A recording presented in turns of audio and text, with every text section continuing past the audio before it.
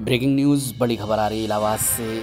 माननीय सांसद जी के लिए अन्वेषकों ने ज्ञापन दिया है। माननीय उज्जवल रमन सिंह सांसद जी को अन्वेषिकाओं ने बांधी राखी। मांगा नियमितीकरण का आशीर्वाद।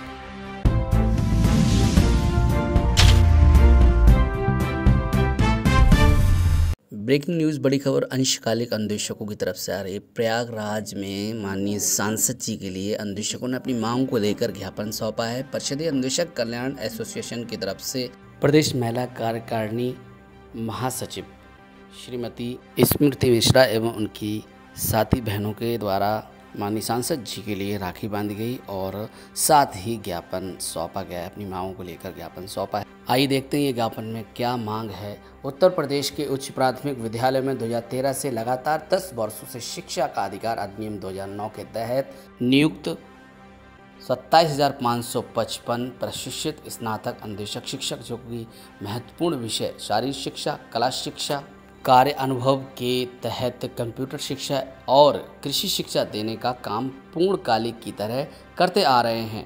हमारा विषय और पद निरंतर चलने वाला है।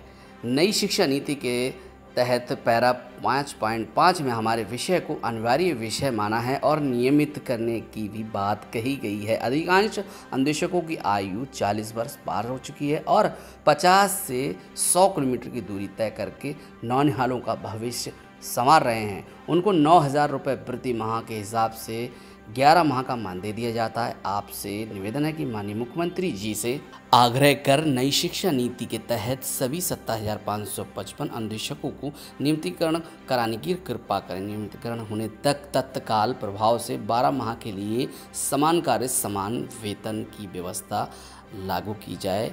भवदिया स्मृति मिश्रा, प्रदेश कार्यकारिणी महिला महासचिव।